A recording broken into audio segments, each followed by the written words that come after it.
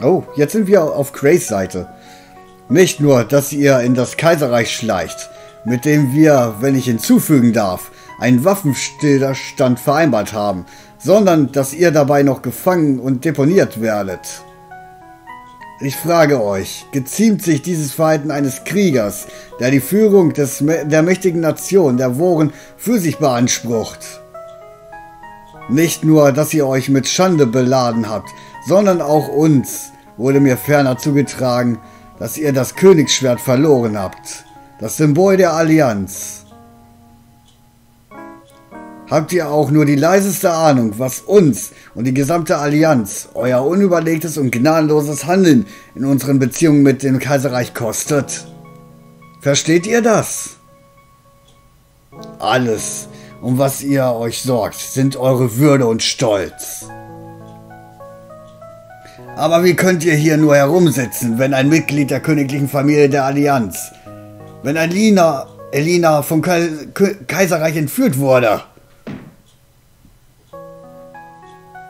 Einspruch! Wir haben eine größere Verantwortung, die Mitglieder der gesamten Allianz zu schützen. Wir können es uns nicht leisten, uns eine, um eine Person zu sorgen, selbst wenn sie eine Prinzessin ist.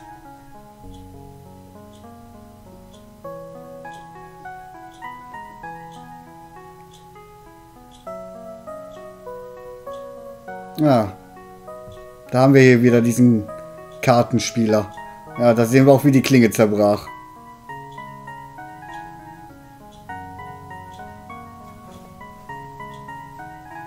Also gut, Rio.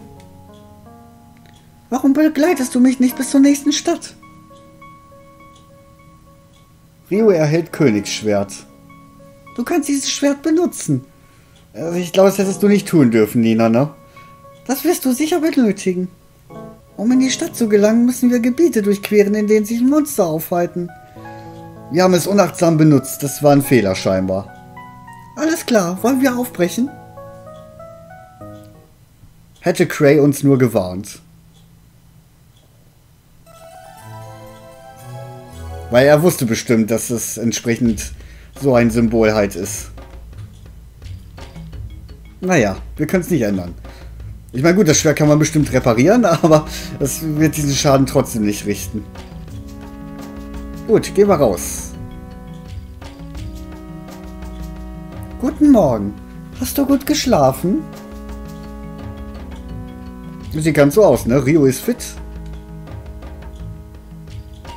Ja, auch wieder voll aufgetankt. Alles top. Wir müssen etwas tun. Aber was? Hm, was? Hast du darüber nachgedacht, wovon wir ihnen erzählen könnten, um Cray aus seiner Zwickmühle zu befreien? Erzähl ihr, ähm...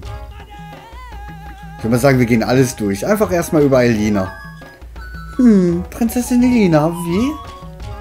Es ist wahr, dass Prinz Morley im Begriff ist, sie zu heiraten. Aber er ist der Typ von Mensch, der sich mehr um Ludia und das Ansehen beim Kaiserreich und anderen Ländern sorgt, als um irgendeine Person. Elina zu erwähnen, würde wahrscheinlich nicht viel nützen. Okay. Aber ich, ich würde fast sagen, das Königsschwert ist die richtige Antwort. Deswegen will ich mal gucken, was passiert, wenn ich über unseren Kampf mit den kaiserlichen Streitkräften äh, erzähle. Was? Ihr wart in einen Kampf mit den kaiserlichen Streitkräften verwickelt? Minimal. Was habt ihr euch dabei gedacht? Wenn ihr ihnen erzählen, wird es Crays Situation noch schlimmer machen. Na ja, gut.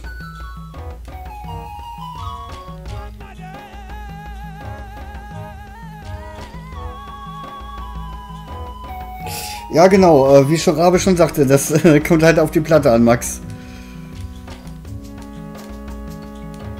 So, dann über das Königsschwert. Das Königsschwert? Du meinst, Cray hat es verloren? Das erklärt einiges. Dieses Schwert ist ein Symbol der Allianz. Es zu verlieren würde ihn nicht gerade berühmt machen. Was? Oh, er hat es nicht verloren? Du hast es zerbrochen? Leider ja. Warte einen Moment. Das ist es. Falls das Schwert, von dem man annahm, dass es verloren sei, wieder auftauchte, dann wäre das eine Sache weniger, die sich Cray anlasten könnten. Es wird funktionieren. Und ich kenne genau die Person, die uns dabei helfen wird. Okay. Südlich von hier gibt es einen Vulkan namens Berg Glom. Ich will aber nicht in einen Vulkan. Dort gibt es einen Schmied, der im Inneren des Berges wohnt. Er könnte uns eine Nachbildung des Königsschwerts anfertigen. Das wäre natürlich sehr praktisch. Jemand in Worenz sollte euch sagen können, wie ihr zum Berg Lohn kommt. Werdet ihr gehen? Natürlich. Danke, viel Glück. Okay, dann wissen wir, wo wir als nächstes hin müssen. Dann würde ich sagen, bist du bereit? PPG. Ich würde mal sagen, das Vieh ist bereit. Ist halt nur die Frage, ob wir jetzt aus dieser Wüste rauskommen oder ob ich diesen Weg jetzt zurückfliegen äh, muss. Beziehungsweise reiten. Ja, das Vieh schwebt, deswegen sagte ich jetzt gerade fliegen. Ne, diesmal habe ich eine Abkürzung. Sehr schön. Oh, aber jetzt ist hier irgendwas. Achso, das, äh, ja, ich muss die natürlich auch wieder mitnehmen. Ist ja wohl klar. Meine Leute dürfen hier nicht einfach, einfach so sitzen und warten, dass ich gar nicht wiederkomme, ne? Ein weiteres Königsschwert. Damit können wir die Lage in der Cray... Äh, damit können wir in der Lage sein, Cray zu helfen, aus der Klemme zu kommen. Danke, Rio. Auch keine Ursache. Ich bin sicher, dass uns jemand in Worin sagen kann, wie wir zum Berg gelogen kommen. Lass uns so bald wie möglich nach Worin zurückkehren. So, erstmal will ich nach Erschin Erschin sagt, dass sie eine Wellhornschnecke weitaus besser reiten könnte. Ich bezweifle das. Hm. Okay, Skias will nicht mit uns reden. Wohin möchtest du gehen? Äh, die Ebene verlassen. Weil in die goldene Ebene brauche ich jetzt nicht mehr reingehen. Das haben wir ja soweit. Ich muss nur noch den Weg nach äh, Berg Glom finden. Mal schauen, wer uns da helfen kann.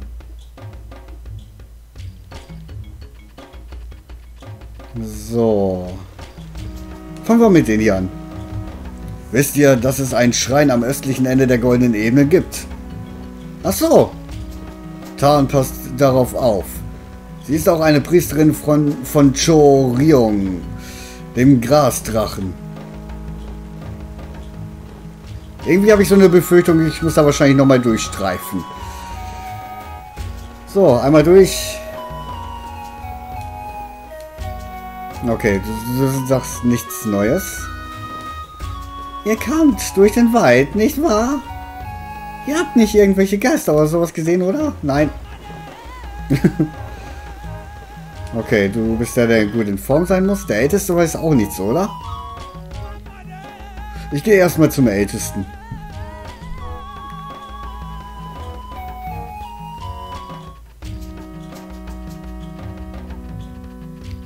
So. Vielleicht wissen die ja was. Einer von den dreien. Ich schätze, es liegt an euch, Cray, zu retten. Viel Glück für euch. Hm, ich verstehe. Seht ihr, warum wir euch gesagt haben, mit Tarn zu reden? Wir wären niemals auf diese Idee gekommen. Ein gefälschtes Königsschwert anzufertigen. Also das ist clever. Um zum Berg Lom zu kommen, müsst ihr zuerst in Richtung Osten über die Ebenen gehen. Wenn ihr den großen Felsen erreicht, müsst ihr euch nach Süden wenden. Ihr werdet einen Berg sehen, aus dem eine Rauchwolke aufsteigt. Das ist Berg Glom. Oh, Nochmal die Wüste. Na toll. Wobei, wenn man überlegt, eigentlich sieht es nicht wie eine Wüste aus mit diesen grünen... Ja, mit diesen grünen Rasen und so. Aber wenn die meinen, das ist eine Wüste, dann ist es eine Wüste, ne? So, jetzt bräuchte ich aber auf jeden Fall noch mal einen Laden, um definitiv einkaufen zu können. Das Blöde ist, dass die anderen ja auch nicht mitkommen können, ne? dass ich wieder mit Rio dann alleine da durchgehen muss. Deswegen wäre es nicht verkehrt, irgendwie noch Kräuter zu kriegen. Bevor ich dann nochmal durchgehe. Deswegen gib mir was.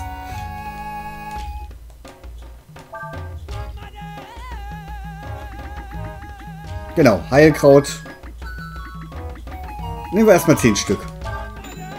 So. Also für den Weg dürfte das reichen. Da bin ich zuversichtlich. Gut, gehen wir nochmal raus. Und nochmal durch diesen, ja, durch diese tolle goldene Ebene. Ich habe eigentlich gedacht, dass jetzt der Weg dann entsprechend da einfach mal einfacher zu finden ist, aber nee. Scheinbar nicht. So, das heißt, ich muss nochmal durch die Ebenen. Halt, vorher soll ich speichern. Ganz wichtig. Nicht, dass mich eines dieser... Oh, scheiße. Einmal zurück. Diesmal muss ich sogar ohne diese Schnecke da durch. Wundert mich ehrlich gesagt gerade. Diesmal muss ich nicht mit dieser Schnecke da durchwandern. Warum auch immer das jetzt ohne geht, das, ist, das verstehe ich gerade ehrlich gesagt nicht. Achso, äh, nein, möchte ich nicht. Aber gut, dann versuchen wir es einfach mal. So, also nochmal nach Osten. Aber egal. So, jetzt müssen wir nach Süden. Also der roten Nadel folgen. Kriege ich das gerade? Nee, ne? Weil wir sehen auch da drüben den Rauch aufsteigen, also ist das definitiv der richtige Weg. Auch wenn der Rauch ziemlich standbildhaft ist. Okay, aber vorher will uns noch irgendwas den Weg versperren. Na, diesmal ist es wie Robin Hood. In Mini-Form.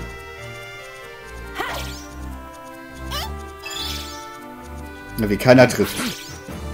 Selbst auf Skias ist nicht Verlass. So, schnappt ihn euch.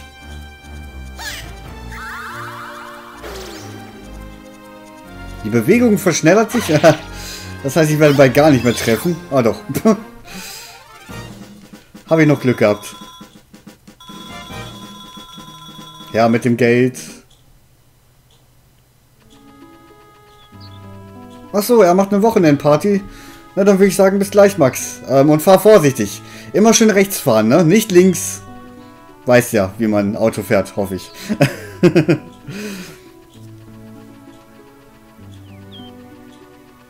das ist aber echt ein weiter Weg, ne?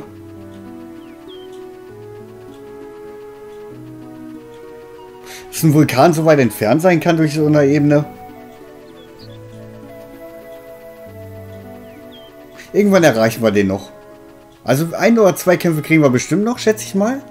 Oh, da kommt Nebel, das heißt, wir sind gleich da. Also ein Kampf auf jeden Fall noch. Wieder Robin Hood. Attacke.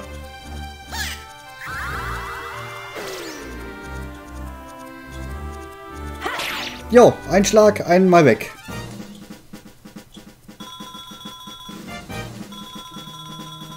Schade, dass sie nicht mal was Brauchbares geben. Das können die doch mal machen. Einfach mal eine Nuss fallen lassen. Wobei das ist nicht Golden Sun. Ja, dann sollte es wohl drin sein, oder Max? okay, gehen wir mal in diesen Vulkan. Wir sind zu dritt, zu viert. Und sehen zu, dass wir hier unseren Weg durchfinden. Auch wenn ich ein bisschen Angst davor habe. Ah, ja, genau, das sollte ich vielleicht nicht tun, durch dieses, dieses heiße Gezeugs da durchzugehen. Nee, das tut ein bisschen weh. So, jetzt ist die Frage, links oder rechts? Gehen wir erstmal hier lang. Ich glaube, es ist fast egal führen beide Wege hierhin.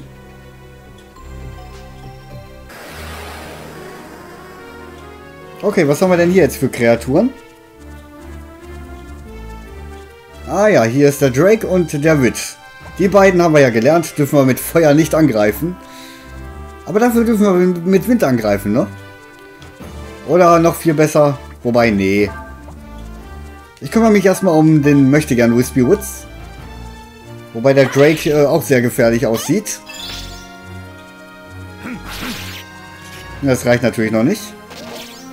Sehr schön ausgewichen, Skias. So, du hast noch so einen Balken. Ja, komm. Na. Nina greift die Echse an.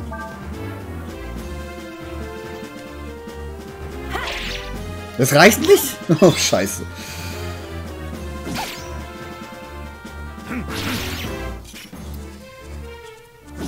Okay, das wird jetzt scheiße. Ähm, jetzt ist gut, du hast oft genug angegriffen.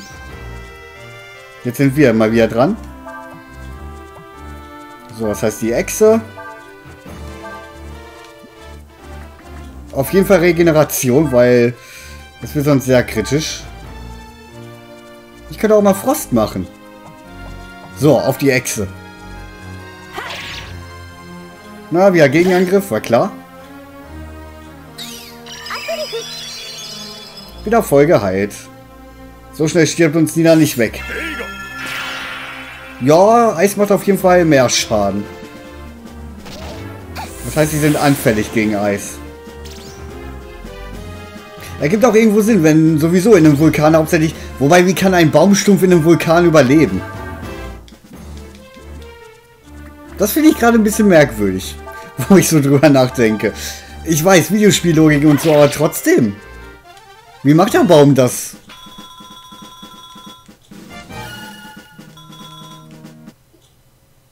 Gut, die Gegner haben wir besiegt. Kann ich hier... Nein, kann ich nicht. Wir müssen hier durch. Noch mehr Wege. Ich gehe mal oben lang. Naja, hier ist eine Truhe. Achso, da komme ich nicht. Ich gehe nur in eine Richtung oder Komme ich da echt nicht rüber? Nö.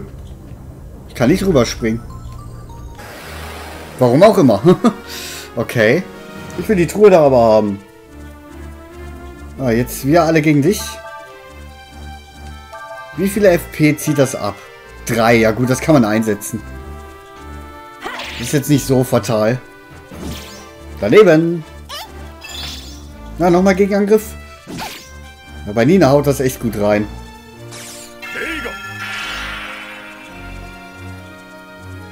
Schade, dass es nicht ganz reicht. Na, wie viel hat er denn jetzt noch? Ja, komm. Da brauche ich wenigstens keine Magie mehr einsetzen. Gnadenstoß! Weg ist er. Dann sollte ich aber erstmal wieder eine Heilrunde machen. Oh. Habe ich jetzt irgendwas falsch gemacht? Die Dinger verschieben sich? Okay. Das heißt, wenn ich einen Kampf auf so einer Platte mache... Ach du Scheiße. Das kann lustig werden, hier durchzukommen. Zyklon hat Nina jetzt. Gegen alle sogar. Oh, das ist praktisch. Endlich mal nicht mehr nur ein Ziel. So. Aber erstmal heilen. Zumindest komme ich schon mal an die Truhe. 600 Senni. Genau sowas wollte ich doch sehen. Ja, jetzt muss ich hier einen Kampf machen, damit die sich wahrscheinlich wieder verschieben, ne? Das ist ja auch ein merkwürdiger Mechanismus. Zwei von euch. Okay, dann versuche ich erstmal Zyklon aus.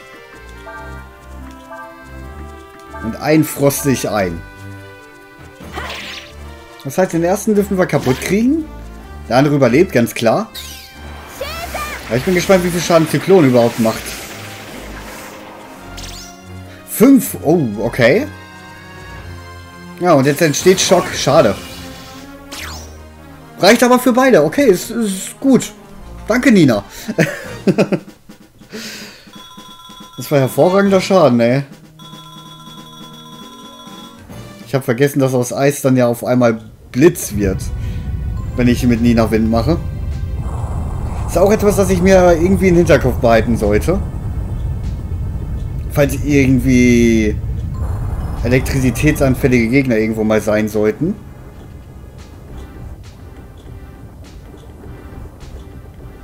Gut, jetzt muss ich das Ding hier wieder verschieben.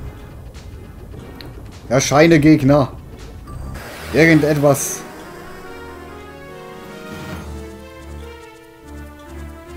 Ein Feu richtig feuriger Baum. Firewit, okay. Jetzt wird's brandheiß. Ich würde sagen, Ninas Spezial hebe ich noch auf, weil ich muss noch heilen können. Für alle Fälle. Bei Frost ist es ja egal, also bei ähm, Skias Angriffen.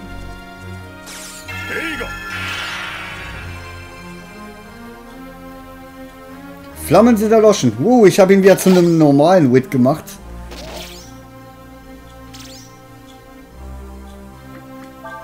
Praktisch. Okay. Jetzt ist einfach mal wirklich ein ganz normaler Baumstumpf geworden.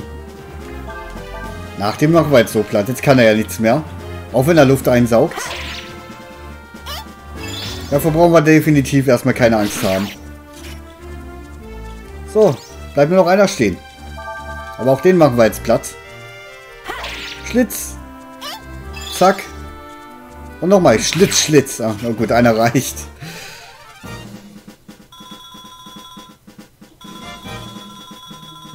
Naja, zumindest haben wir auch erstmal wieder ein bisschen gut Geld zusammengekriegt. Jetzt muss ich nur hoffen, dass ich ohne Probleme jetzt an die Truhe rankomme. Und eventuell dann darüber kann. Versuchen wir es mal. Ein Vitamin, beziehungsweise zwei Vitaminen. So, ich bin drüben. Ja, hier komme ich jetzt natürlich nicht rüber. Die müssen sich erstmal wieder verrücken. Komme mir gerade vor wie im verrückten Labyrinth. Gut, ich glaube, ich muss äh, Ninas Angriff doch noch einmal benutzen. Wobei... Nee. Ist mir ehrlich gesagt zu schade. Die FP brauche ich noch und ich habe leider nichts, um die FP äh, zu generieren. Zu regenerieren. Was sehr nützlich wäre. Aber auch so geht's ja, wie ihr seht. Ich muss ja nur die Flammen dieses Baums erlöschen. Dann ist das Ganze eh vorbei. Na. Machen wir erstmal der Reihe nach. Ist gerade die beste Strategie.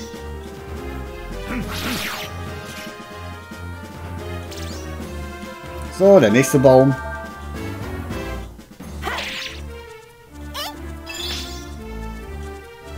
Auch der ist weg.